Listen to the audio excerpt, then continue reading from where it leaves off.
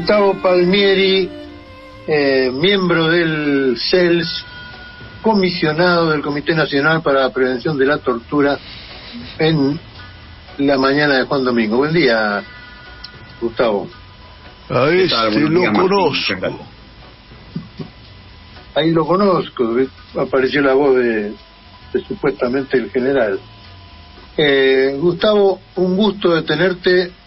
Eh, nosotros somos compañeros y tenemos eh, una relación variada, pero me interesa mucho contarle un poco a la gente lo que hace el Comité Nacional para la Prevención de la Tortura, que cuida la, dignidad de las personas que están presas, muchas de ellas eh, ni siquiera juzgadas, ni con fallos, ni nada, que están en las cárceles o, jóvenes que están en los institutos de menores o personas con problemas mentales que están en los institutos para enfermos mentales y que el Comité Nacional para la Prevención de la Tortura eh, cuida para que no sean vejados o torturados o denigrados en una tarea enorme que se desplaza a lo largo y a lo ancho del país. Eh, así que bueno, bienvenido en el tema, porque la verdad que nos interesa mucho tu punto de vista. Eh, parte de la sociedad piensa más en, en, pegarles que en, respetarlos, pero eh, la verdad que los derechos humanos son una bandera que no vamos a abandonar.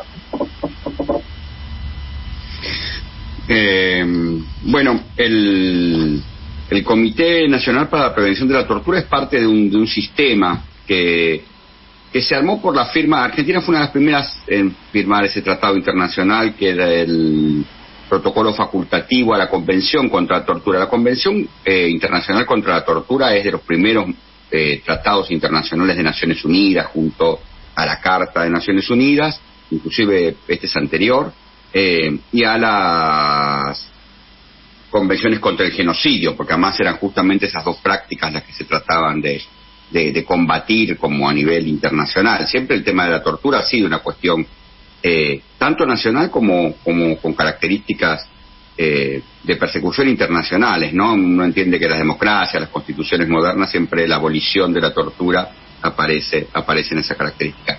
Es, y nuestro país la tienen particularmente como, como señalada. Muchos, eh, cuando comentábamos esto, que hay un comité, plantean, bueno, pero en Argentina todavía se tortura porque la tortura también es, tiene una historia, ¿no? Es parte de, un trauma y en, el nuestro tiene, está muy asociada a la, a la última dictadura militar.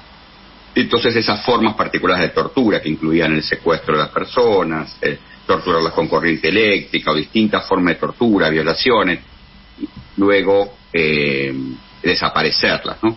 Eh, eh, uno puede decir que esa, esa, esa forma de, tortura que tiene que ver con el terrorismo. Estado hoy no se, no se, no tiene lugar, uno no puede plantear hay espacios donde eso siga ocurriendo, por el contrario, está siendo juzgada de forma ejemplar, eh, y los espacios donde eso sucedió están eh, siendo señalizados como espacio de memoria, se recuerda, y, ahí aparece este, esta idea de nunca más. en, en los otros tipos de tortura, los que nosotros vemos eh, cotidianamente y sobre los que trabajamos tienen que ver con personas privadas de su libertad, básicamente.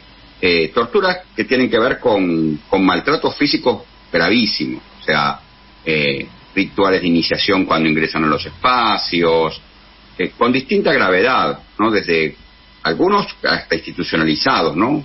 cortarles el pelo.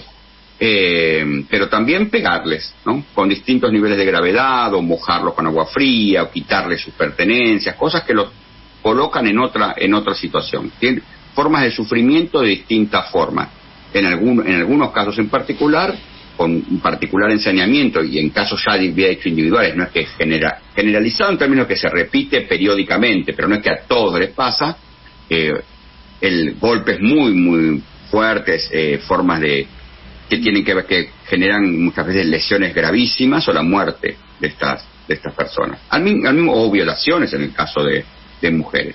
Pero, y entonces se habla en Argentina de una tortura que tiene una rutina, una sistematicidad, porque uno puede ver en distintos niveles de gravedad, distintas prácticas, esas situaciones.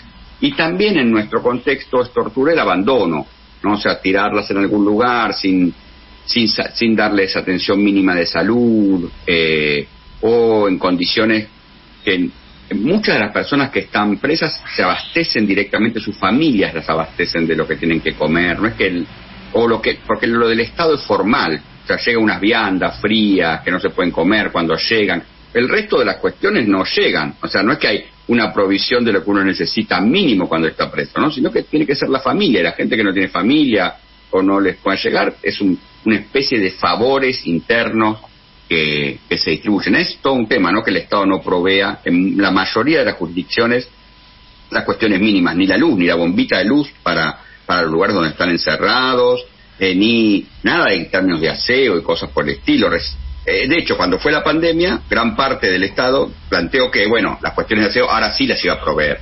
Pero si no, en principio, o sea, no hay provisión mínima de todo eso. Es un espacio, de alguna manera, donde, en general, de familias muy, muy pobres, lo más marginado en términos sociales, que al mismo tiempo tienen que financiar eh, con su la, parte que queda libre el, mantenimiento de las personas que está privada de su libertad.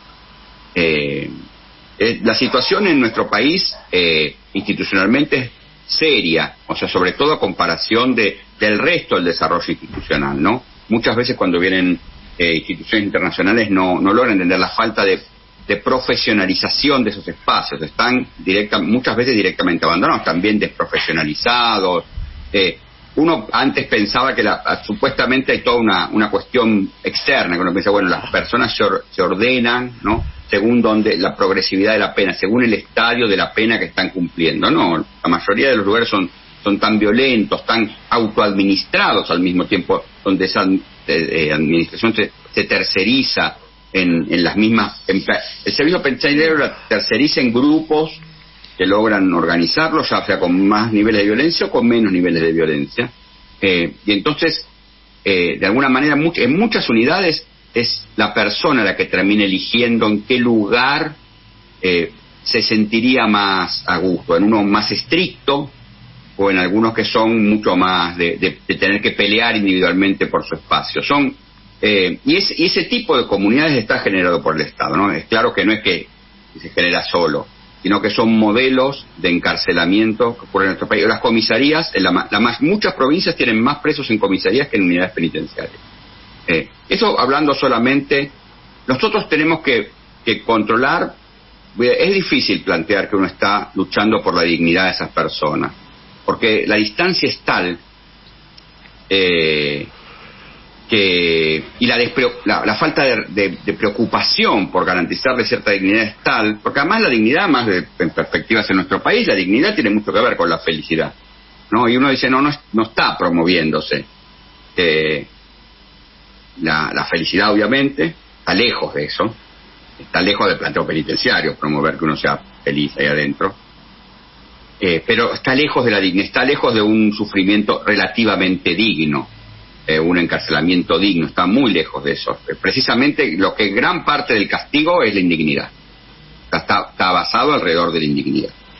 Eh, de romper cosas menores, de no tener ninguno, de no tener protección de sus bienes, de sus relaciones con los familiares, es, es muy, muy complicado. Y eso se ha visto también, como bien lo dijiste Martín, cuando fue la pandemia, ¿no? Cuando los sectores se planteaba que algunos iban a sufrir altos riesgos de estar encarcelados y se pensó formas de que pudieran salir, eh, hubo una gran protesta en relación, en relación a eso, ¿no? Como decir, no, eh, no, no hay, las políticas de salud no alcanzan estos actores. Y algo muy grave también, que también tiene que ver con cómo trabajar en estos actores. Se tardó mucho más en vacunar a las personas privadas de su libertad. ¿no? Cuando ya estaban vacunándose las personas mayores de edad, los mayores de 50, en las cárceles esos grupos no estaban siendo vacunados. Recién cuando se generalizó la vacuna, empezaron a vacunarse a, esos, a esas personas. Eh, y muchas veces ni siquiera lo decían. Pero cuando nosotros presionábamos porque los vacunaran la mayoría de los funcionarios, nos decíamos, pero traten de, no decirlo, de ocultarlo, porque si no genera mucho rechazo que estemos vacunando personas privadas de su libertad. Bueno, a mí me parece que, que, hay, que no es solamente eso, hay una obligación del Estado de dignificar ese espacio y hacer políticas para esto, del, del Estado, de los movimientos políticos, todo eso, tener que, que, que, esos sectores no pueden ser, o sea, hay todavía una política que ahora se está notando extendida hacia otros sectores pobres cuando se empieza a criticar a los que tienen planes, a auditarlo, como decir, de, de política sostenida institucional de generar cierta indignidad, ¿no? No tienen dignidad para tal cosa, no pueden hacer tal otra, no, no es merecido para todo. Eh, bueno, en este caso es el lugar donde más, en forma más concreta se ve. Como decir, esas personas hicieron algo que hace que merezcan algún tratamiento indigno, eh, cotidiano. Eh, y es sobre eso lo que, sobre lo que trabajamos, sí. Por, por momentos tengo la sensación de que hay gente que comete delitos graves, eh, casi legalizados, eh, robándole a través de los mecanismos financieros, a través de los, de los, de los engendros jurídico-políticos o, o empresarios eh, al resto de la comunidad de una manera flagrante. Sí. Y que esos no van a la cárcel. Los que van a la cárcel son los pobres, que no tienen este sustento, más allá de la responsabilidad, digamos, penal que cada uno tenga, digamos, pero ah, sé que hay un montón, montón, un porcentaje enorme de gente que ni siquiera tiene juicio, que, por ahí las penas no son tan graves, que, que no ha habido, este, no sé, agravantes de, muerte o de herida a alguien en su delito, pero que como son pobres de cajón van a la cárcel. Eh, sí, no, es cierto que siempre son, que son pobres. El instituto está pensado para eso, ¿no? Este, eh, hay personas con plata que, digo, Carrascosa fue a la cárcel eh, por algo, en términos de delito. No está pensado para los temas financieros. La justicia criminal no está pensada básicamente para temas financieros en nuestro país. En general tampoco. No es cuando uno quiere evitar que esas estafas y esos patrocinios se den son otras cuestiones. Penalizarlo es muy difícil, pero a veces se usa como parte de lo ejemplar, ¿no? Eh, el sistema de la cárcel, el sistema criminal en este sentido siempre eh, funcionó como un sistema de control de, de los sectores populares. Es un sistema muy pensado en esa línea. Por eso, eh, eh, en algún lugar tendría que ser más preocupación, eh, tendría que preocupar más a los partidos populares. Y eso también me parece importante en términos de diferenciar. Hay como un consenso de que eso se va a mantener así, que no es un tema ni políticamente rentable, pero al mismo tiempo que no, no hay mayor dedicación, no hay recursos. Lo que sí es cierto, y también me parece importante plantear, es que eh, en los partidos, en las posiciones menos populares, no o antipopulares directamente, la, lo que hay una es un incremento de la, de la prisionización muy fuerte. Eh, y sobre todo con, con, por el contrario, no pensado en los grandes delitos, sino pensado en penas cortas. Entre nuestro país venía con una tasa de prisionización más razonable o, había logrado estabilizarla, no diría que es razonable porque es muy alta para la cantidad de delitos que tiene, eh, hasta el 2012. En 2012 empezó a subir y entre el 2017 y el 2019 tuvo un crecimiento exponencial. Eh, pasaron de 70 mil a 80 mil, perdón, casi a 100 mil, eh, más de 106 mil eh, personas privadas de su libertad por temas penitenciarios en todo el país. Con muchas penas cortas, donde uno de los puntos que, se, que fue un, tema grave fue todo el tema de persecución al, al al narcomenudeo, ¿no? la idea del narcotráfico, la persecución del narcotráfico en términos criminales también es una política de promoción desde la derecha, muy, muy marcada.